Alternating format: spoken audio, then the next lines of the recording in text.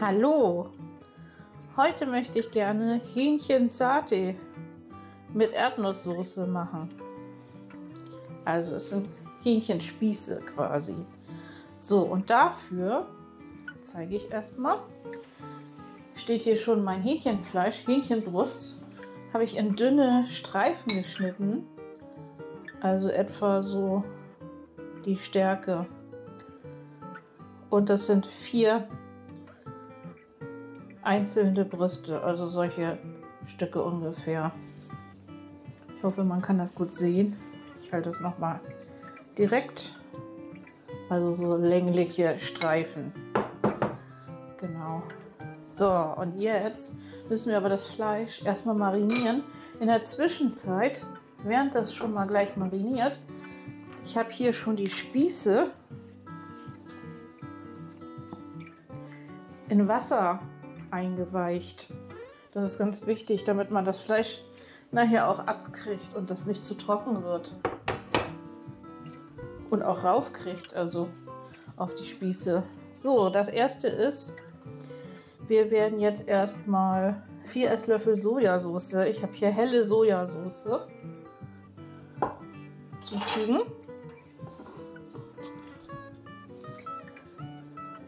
So.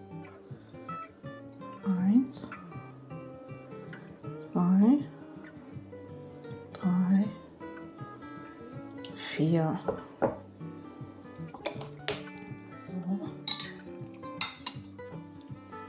Und dann als nächstes brauchen wir nochmal einen Esslöffel.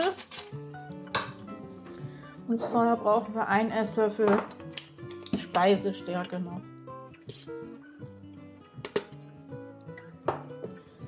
So, das sind ja wieder die Zutaten hier zu marinieren, die das Fleisch so zart dann auch machen. Wenn ihr euch an mein Rindfleischgericht, mein chinesisches erinnert. So, jetzt muss das hier alles ein bisschen vermengt werden. Damit das ganze Fleisch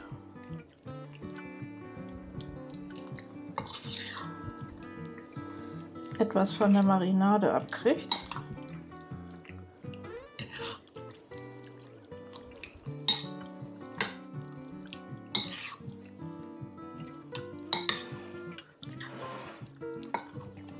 Aber das sieht schon mal gut aus. So, ich tue da noch einen Teelöffel Sambal Oleg mit rein. Für die Schärfe.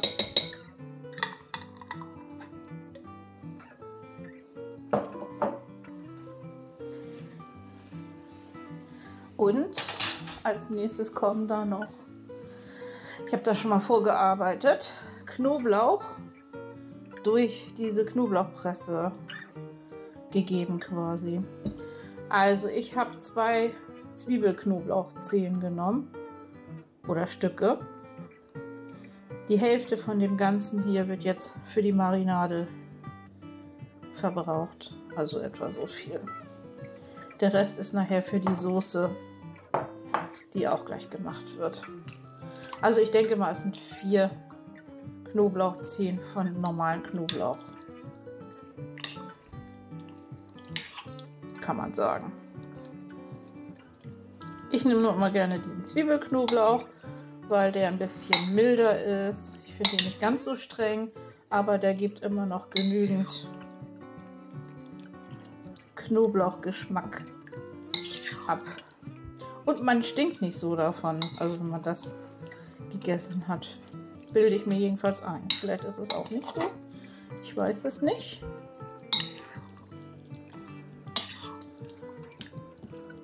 Aber hat sich noch keiner beschwert irgendwie. Was ja immer erstmal ein gutes Zeichen ist.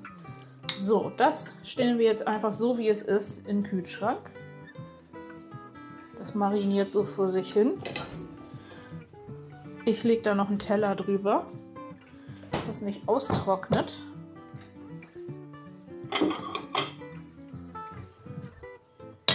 Außerdem riecht es sonst so im, Kä äh, im Käfig, im Kühlschrank. Der Kühlschrank ist kein Käfig. So, das kommt jetzt erstmal zum Kühlen da rein und mariniert vor sich hin. In der Zwischenzeit, ich habe noch als Beilage schon vorbereitet für nachher. Das kommt dann nachher auf unser Teller mit drauf. Ähm, kleine, feine Gurkenwürfel mit Haut. Also die stehen hier schon mal. Zwei Portionen, wir sind hier zu zweit. Die stelle ich erstmal zur Seite. Als nächstes machen wir jetzt die Soße. Und ich muss hier mal rüber schwenken. So, wunderbar. Klasse. Und dafür brauchen wir zwei Esslöffel Pflanzenöl, eine halbe Zwiebel fein gehackt, Knoblauch, also den Rest, den ich da hier schon äh, durch dieses, diese Knoblauchpresse gejagt habe quasi. Ähm, vier Esslöffel grobe Erdnussbutter. Ich habe feine genommen. Ich mag die grobe nicht so gerne. Und vier bis fünf Esslöffel Wasser. So, und etwas Chili, nämlich aus der Mühle noch dazu, für die Schärfe. Okay, dann fangen wir mal an. Ich mache hier schon mal den Topf heiß.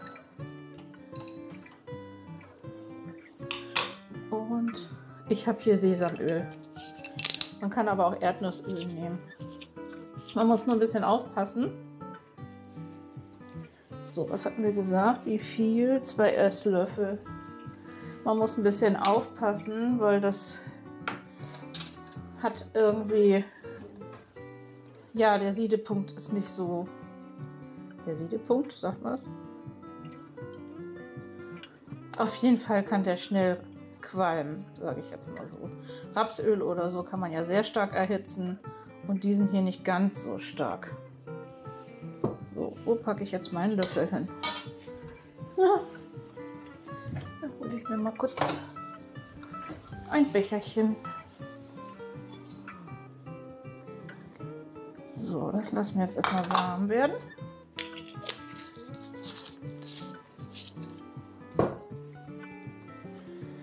Dann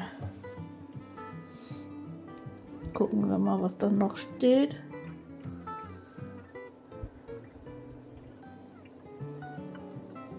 Ach, ich habe noch was vergessen. Ich Blödkopf. Wir müssen noch mal die, das Fleisch rausnehmen mit der Marinade. Aber das macht nichts. Der Ingwer kommt da ja noch mit rein. So was Dummes. Ja, müssen wir da den Ingwer noch mal mit rein? Ich dachte, der Ingwer kommt in die Soße mit rein. Aber nein. So ein Stück Ingwer in Scheiben schneiden und in ganz dünne Scheiben schneiden und da dann mit reinmengen.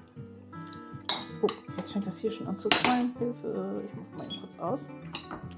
Das war das, was ich gesagt habe. Man darf es nicht zu stark erhitzen. okay, das haben wir dann auch jetzt hier zum Marinieren und wieder ab in den Kühlschrank damit.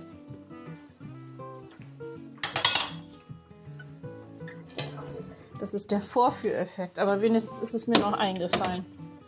Was ja schon mal ganz gut ist. So.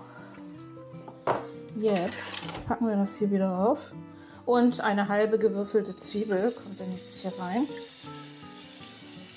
Ich habe eine ganze gehackt. Den Rest tue ich mir nachher in den Kühlschrank. Für irgendein Gericht werde ich es schon verbrauchen. Herd wieder an. Und jetzt schmort das so ein bisschen vor sich hin.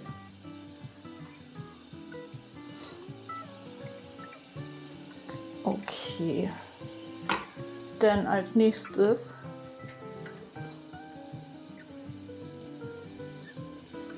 kommt Knoblauch dazu.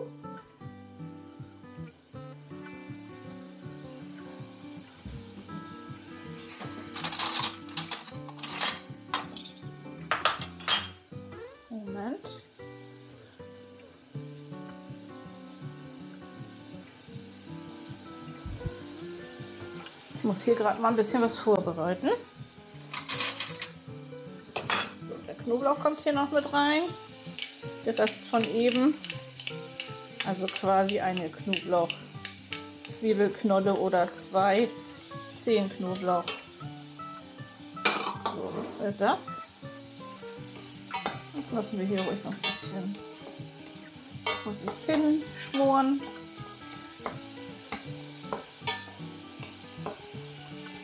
Kann hier ruhig ordentlich weich werden. Sonst hat man nachher zu stückiges drin.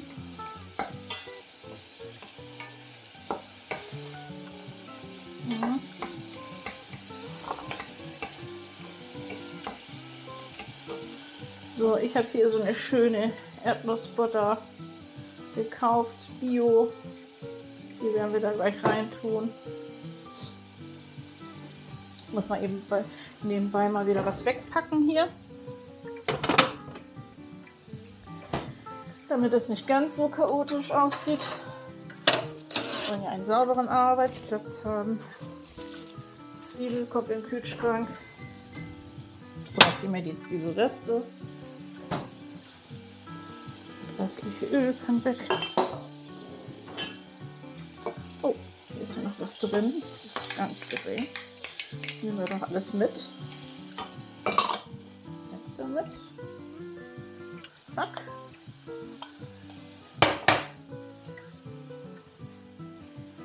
Ja, und so sieht die Packung mit den Spießen aus. Die habe ich ganz normal im Supermarkt gekauft. Wir auch erstmal weg. Und das riecht ja immer schön, wenn Zwiebel und Knoblauch angebraten wird. Ne? Ich mag das ja. Sehr schön würzig.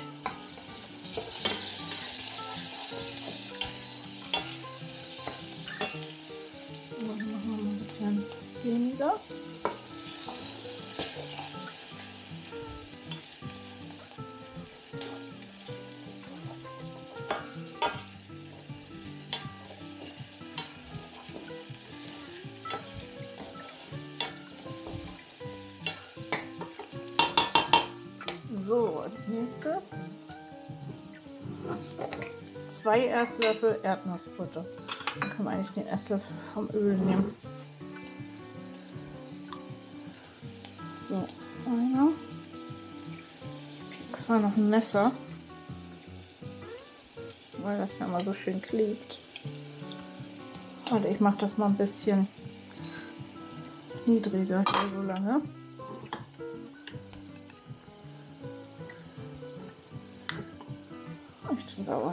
Rein. So. Erdnussbutter schmeckt ja.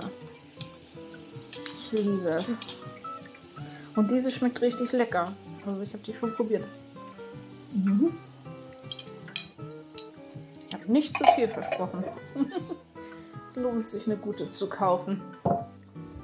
Also man sollte eigentlich so eine Stückige nehmen.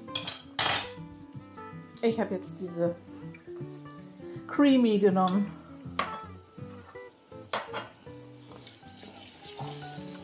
So, das ist auch schon an sich schön ölig. So, und jetzt vier bis fünf Esslöffel Wasser. Ich habe meinen Krug mit gefülltem Wasser. Eins. Zwei. War nicht so voll.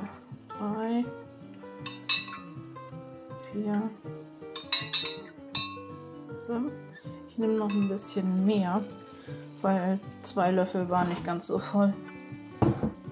Also vier bis fünf volle Löffel. so. Wieder ein bisschen Ordnung schaffen. Brauchen wir alles nicht. Und natürlich rühren, rühren, rühren. Das müssen wir jetzt hier ein bisschen einkochen, das Ganze. Für meinen Geschmack ist das sehr dickflüssig. Also so soll das nicht aussehen. Da doch noch mal ein bisschen mehr Wasser rein. Es soll ja eine Soße sein und nicht so eine Creme. So. Das sieht für mich besser aus.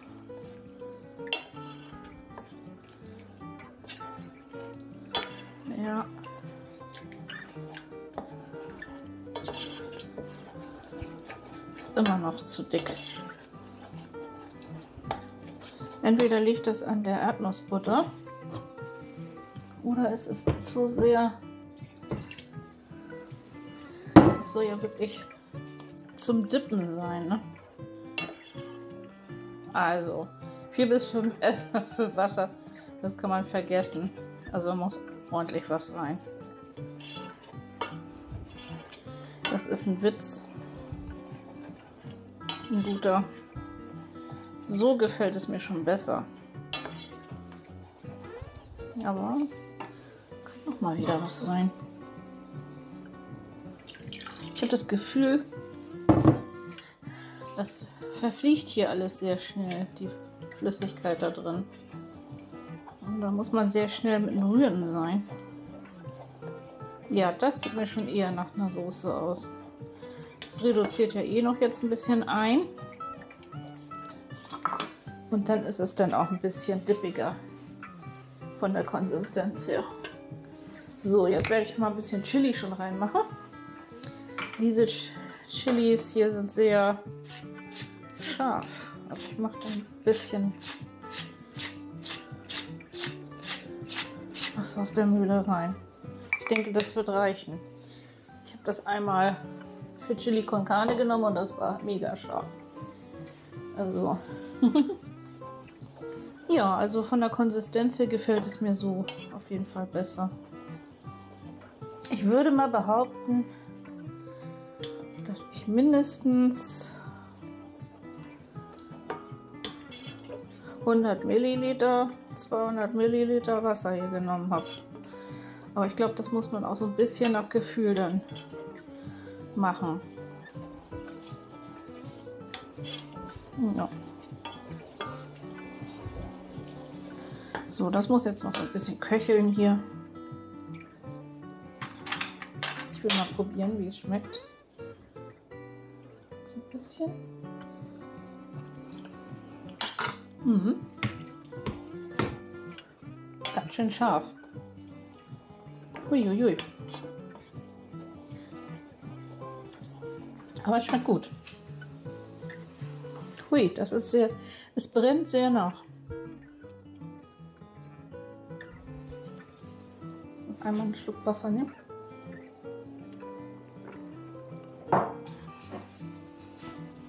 Aber es gefällt mir gut. Also ich lasse das hier jetzt so ein bisschen. Ich habe ja den Herd nur auf zwei. Ich lasse das hier so ein bisschen vor sich hin simmern.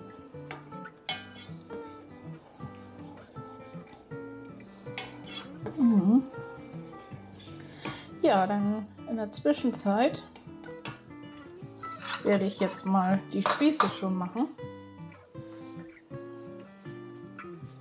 Und zwar gieße ich erstmal das Wasser ab, wo die Holzspieße hier eingelegt sind.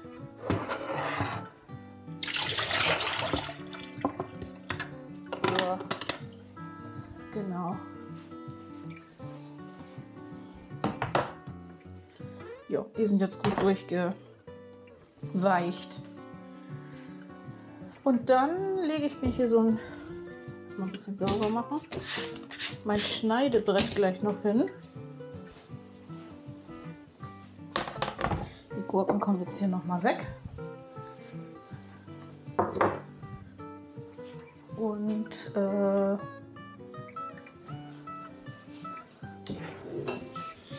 nehme hier zum Ausbraten von dem von den Spießen nehme ich jetzt gleich Rapsöl.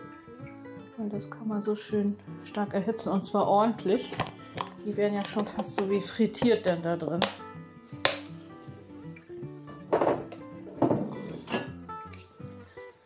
Okay. So, jetzt hole ich das Ganze mal hier aus dem Kühlschrank raus.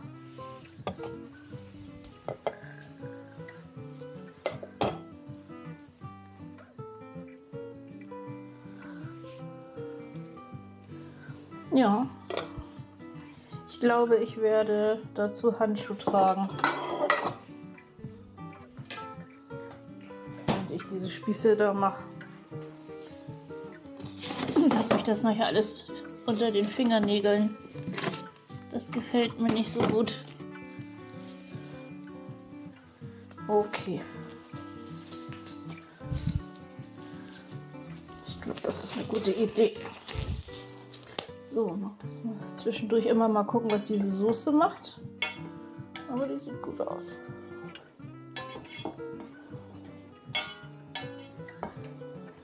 Mhm. Vielleicht reicht jetzt auch auf 1. So. Das bereite lege ich mir hier so hin.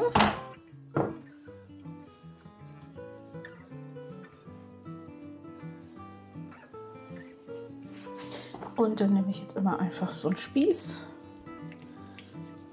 Gespannt, wie es mir hier gelingt. Und wird das immer hier so ein bisschen in Falten drauf drapiert quasi.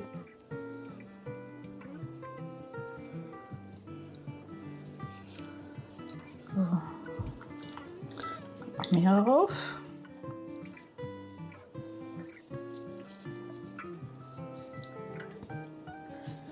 Vermute, dass ich gleich, wenn ich den Film schneide, den Zeitraffer brauche.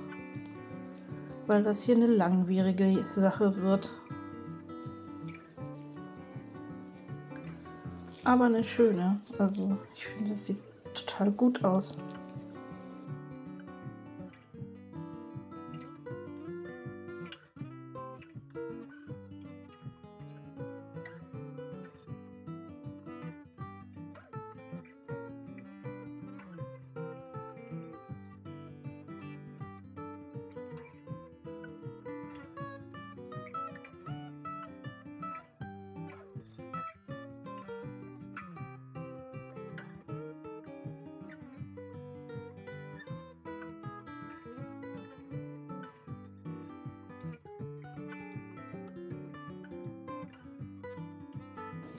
So.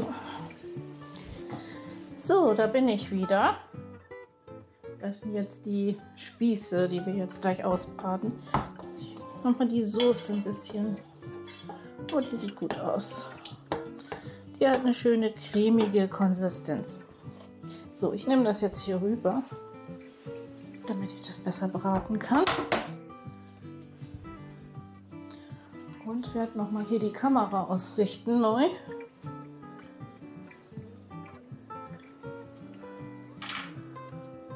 Okay. So, ich mache den Herd schön heiß. Ups, das wurde verkette. Den mache ich natürlich schön heiß und habe da ordentlich Öl reingetan zum Ausbraten.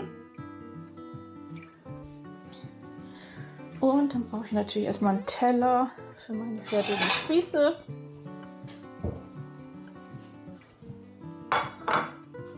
So, ich glaube, dieses warm halten. Das mache ich mal hier hinten. So, das gefällt mir besser. Den Teller noch ein bisschen warm. Okay. Dann können wir hier gleich mal anfangen. Ich bin gespannt, wie das mit dem Anbraten klappt. Ich nehme mal lieber weil ich schon ahne, dass es nicht so einfach ist, die zu drehen. Zwei Gabeln lege ich mir hier schon mal hin. Aber wir werden sehen. Ah, das muss noch ein bisschen heiß werden. So ist es noch nicht gut. Und ich muss mal die Haube hier mal anmachen.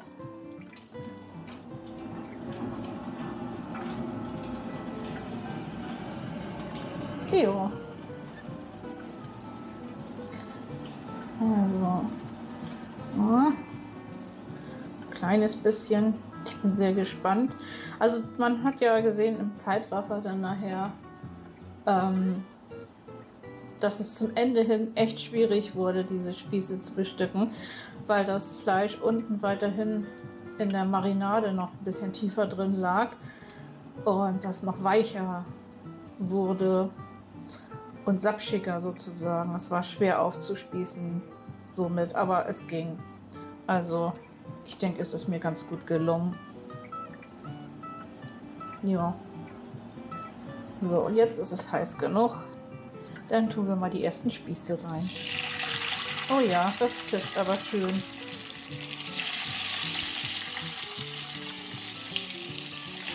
Schade, dass es keine Art Geruchsfernsehen oder Geruchsvideo gibt, weil das riecht einfach köstlich hier. Und hinten noch diese die Erdnusssoße. Die duftet auch für sich jetzt schon so da. Total lecker. Ist gut so. Ist ja gut. Spritzt da ein bisschen. Hier ist auch was rausgefallen.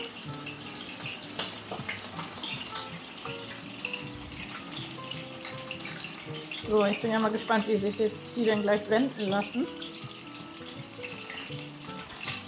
Aber es sieht ja so schon mal lecker aus. Auf jeden Fall ein Show-Effekt dabei. ich denke mal, dass es eine schöne Vorspeise auch sein kann, wenn man jetzt so ein mehrere Gänge-Menü macht, so ein asiatisches. Gerade so schön mit diesen Gurkenwürfeln dazu und dem Dip. Und dann macht man als Haus Hauptspeise das mit diesem Rindfleischgericht, was ich da schon mal in einem Film gemacht habe.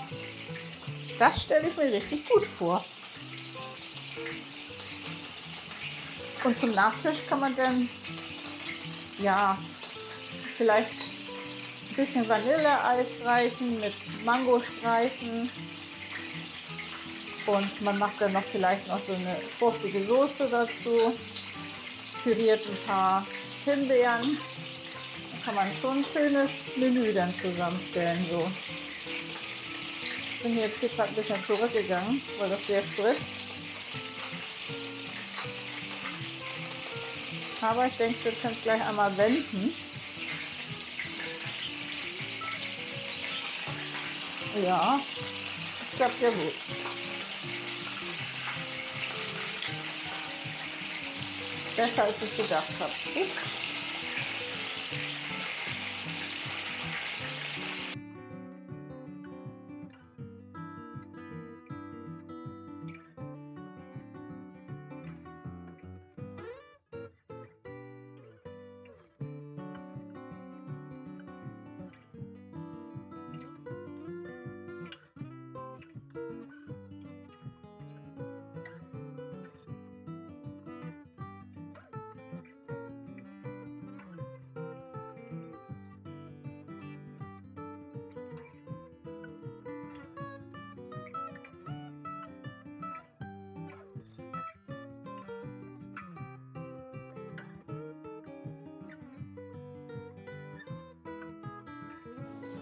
So, nun ist der ganze Spaß hier fertig und ich halte mal ein bisschen hoch, dass ihr sehen könnt, wie es denn aussieht.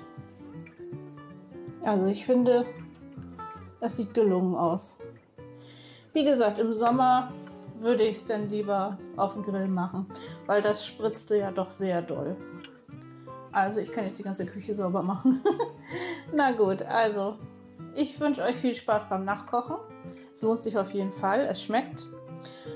Und wenn euch das Video gefallen hat, dann würde ich mich über einen Daumen hoch freuen.